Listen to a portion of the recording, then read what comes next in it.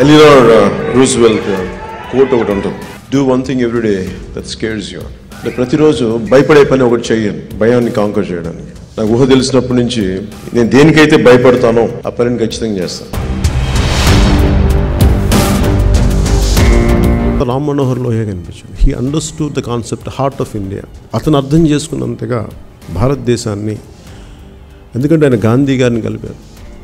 Gandhism socialism communism and also he never ignored religion he never ignored caste చిన్న చిన్న అసమానతలు ఉంటే ఈ సంపూర్ణత్వాన్ని సంపూర్ణ అంటే మన భారతదేశం తాలూకు కా ఇంత వర్సటిల్ అప్రోచ్ని సంపూర్ణంగా అర్థం చేసుకున్న వ్యక్తి శ్రీ లేట్ శ్రీ రామ్ మనోహర్ లోహియా అందుకని నాకు చాలా ఇష్టమైన పొలిటికల్ లీడర్ అది మీకు అడ్వైస్ చేయాలి ఎప్పుడంటే please know about his life is a great man and you will understand the greatness of his capability and his per character that will give you a great insight about our what kind of society is good for our nation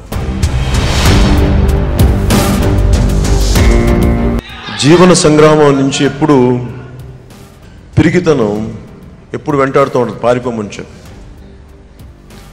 దానికి ధైర్యం అనే గాంధీవాన్ని ధరించి యుద్ధం చేయాలి. ఇది నా మాటలు కాదు ఇది శేష్ నాకు ఇష్టమైన కవి శేషేంద్ర శర్మ గారి మాటలు.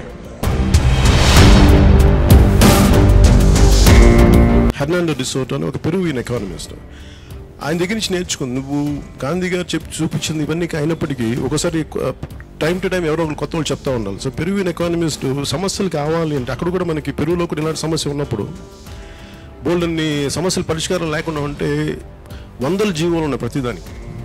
సో దాన్ని కౌంటర్ చేయడానికి కానీ ఎలా చేయాలో తెలియకపోతే ప్రజల దగ్గరికి వెళ్తే వాళ్ళు చెప్తారు. పరిష్కారాలు వాళ్ళు చెప్తారు. మన ఏంటంటే దాన్ని రైట్ లీగల్ టర్మ్స్లో కానీ కాన్స్టిట్యూషన్గా చేయడం అంతే. నేను అందుకని డైరెక్ట్గా ప్రజల దగ్గరికి ఎందుకు వెళ్తానంటే సమస్యలు చెప్తే మాకు ఏం కావాలంటే అక్కడ సమ పరిష్కారాలు అక్కడ దొరుకుతాయి. నాకు చిన్నపాటి రూమ్ ఉండేది నా స్టడీ రూమ్ దాంట్లో నేను చదివింది Martin Luther King Junior and biography. Abraham Lincoln ఉంది Thomas Jefferson Henry David Thoreau Walden pond అంటే గాంధీజీ గారికి సివిల్ డిస్ ఒబీడియన్స్ మీద అవగాహన కల్పించిన వ్యక్తి హెన్రీ డేవిడ్ తోరో ఇంతమంది అమెరికన్స్ నా నా జీవితం మీద అంత ప్రభావితం చూపించారు. అలాంటి దేశానికి ఇక్కడ రావడం నాకు నిజంగా చాలా ఆనందంగా ఉంది. వచ్చి ఇలాగ మాట్లాడటం ఇంకా ఆనందంగా ఉంది.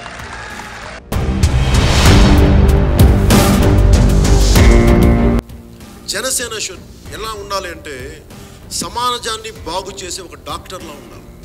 అది నేను కోరుకున్నాను చెగివర జీవితం నుంచి నేర్చుకుంది ఒక డాక్టర్ అయింది పేషెంట్ని సరిపోస్తే లాభం లేదు. ఆ జబ్బు వచ్చే పరిస్థితులు మూలకారాలైన మూలాలకి వెళ్ళి సరిచేసే తప్ప షెగివేర అలా ఆలోచించాడు Nelson Mandela Long Walk to Freedom చదువుతున్నప్పుడు లాంగ్ వాక్ టు ఫ్రీడమ్ చదువుతున్నప్పుడు చిన్నపాటి సెల్లో నేను కేప్టౌన్ బద్రీ షూటింగ్కి వెళ్ళినప్పుడు రాబిన్ ఐలాండ్కి వెళ్ళి చూశాను. ఎందుకంటే ఎంట్రన్స్ స్టూడియో ఎదురుగా రాబిన్ ఐలాండ్ కనిపించదు. వెళ్ళి చూస్తుంటే అంతపాటి సెల్లో ఆయన ఏంటి హోల్డ్ చేసిందంటే ఆ ఇన్విక్టిస్ అనే ఒక చిన్నపాటి పోయాం. చిన్న పద్యం. అంటే ఎన్ని కష్టాలను తట్టుకొని నిలబడని చెప్పి కండిషన్ ట్వంటీ ఫైవ్ ఇయర్స్ ఇరవై సంవత్సరాల పైన ఒక వ్యక్తి చిన్నపాటి జైల్లో ఉండి కూర్చొని మొత్తం ఏమి చేయలేక వదిలేసిన సౌత్ ఆఫ్రికా అపార్థిట్ రెజిమ్ పడిపోయింది ఒక్కడి శక్తి అంత ఉంటుంది ఒక్కడే one Nelson Nelson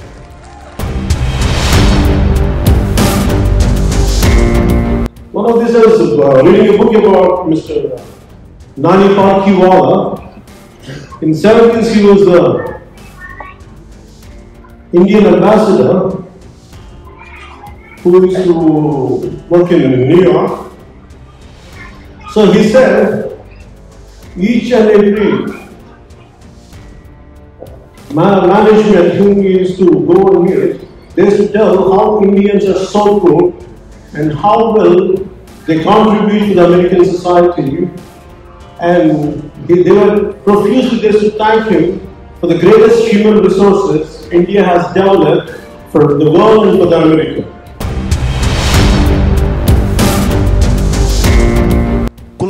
వంతు నేను పెరగలేదు.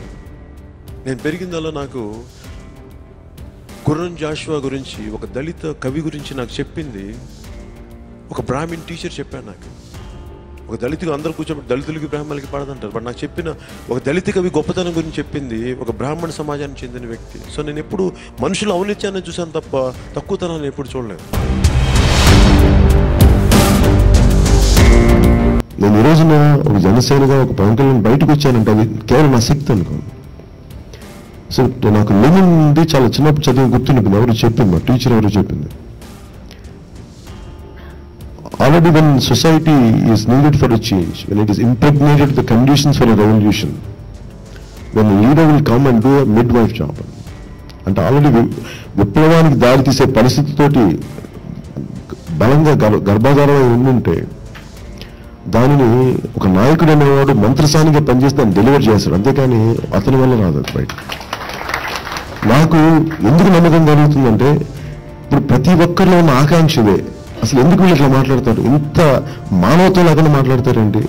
ఎంత హ్యుమానిటీ లేదేంటి? ఇవన్నీ మనందరిలో ఒక సగటు మనుషులు మనలాంటి సామాన్యులు అందరిలో ఉన్న ఆకాంక్ష ఈ అది నన్ను రాజకీయాల్లో తీసుకొచ్చింది.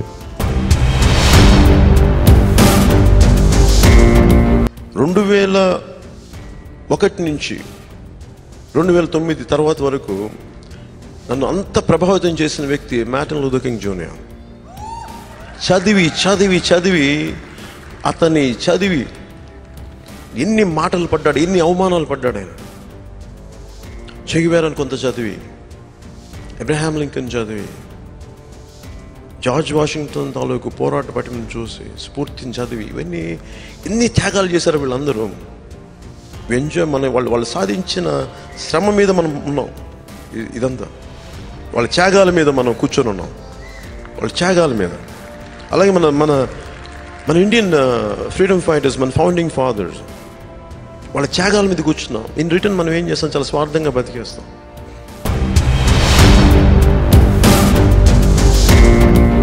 నేను చిన్నప్పుడు స్కూల్కి వెళ్తా గోడల మీద చూసేవాడిని తాకట్లో భారతదేశం అని. నాకు అర్థమయ్యేది కదా పది చదువుకుంటూ వెళ్ళేవాడిని. నేను ఇంటర్మీడియట్కి వచ్చాక మా నాన్నగారు అడిగి ఏంటంటే మా నాన్న ఒకరోజు పుస్తకం ఇచ్చారు తాకట్లో భారతదేశం ఈ రోజున ఆ పుస్తకం ఎంతో విలువైన పుస్తకం అంటే ఈ రోజుకి అది చాలా సత్యాలు చెప్తుంది.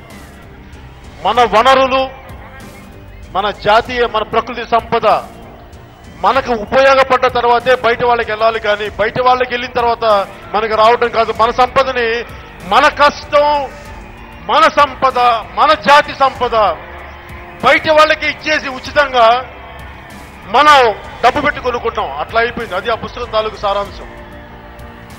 బయట దేశాలకి ఉపయోగం తప్ప ఇలాంటి విధి విధానాల వల్ల చెప్పి పంతొమ్మిది వందల డెబ్బైలో రాసిన పుస్తకం అదే ఆయన ఈ రోజు బతుకునుంటే ఎలాంటి పుస్తకం రాసేవాళ్ళు? ఈ జరుగుతున్న రాజకీయ దోపిడీకి ఆయన ఏం మాట్లాడేవాళ్ళు? మనం ఊహించలేం.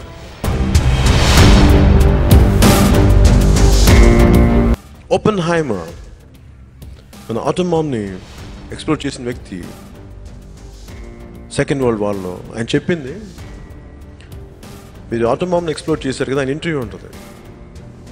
ఇది ఎలా చేశారు అదంటే ఇది ఫస్ట్ టైం కాదు ఇది ఆల్రెడీ భారతదేశంలో చేశారు అంటే సైన్స్ అండ్ ఇది ఎప్పుడు చెప్పారంటే మన భారతదేశంలో వాళ్ళ వాళ్ళ చరిత్రలో ఎగ్జాక్ట్గా ఇప్పుడు సైంటిఫిక్ ఎంత సైంటిఫిక్ అనాలిసిస్ ఎలా చేశారో ఈ ఎక్స్ప్లోజన్ అటామిక్ ఎక్స్ప్లోజన్ మన మాన్యుస్క్రిప్ట్స్లో మన మైథాలజీలో అంత బలంగా అదే ఫామ్లో ఉందని చెప్పి ఇట్స్ అబౌట్ ఓపెన్ హైమర్ చెప్పింది అంటే భారతదేశంలో ఒక ఆర్జీపత్య కానీ ఓప- మన సైన్స్ అండ్ టెక్నాలజీ అంత బలమైన వ్యక్తులు మనం.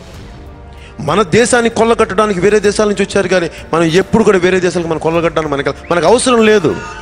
Will bring back the glory of a country తీసుకొద్దాం మళ్ళీ మనం.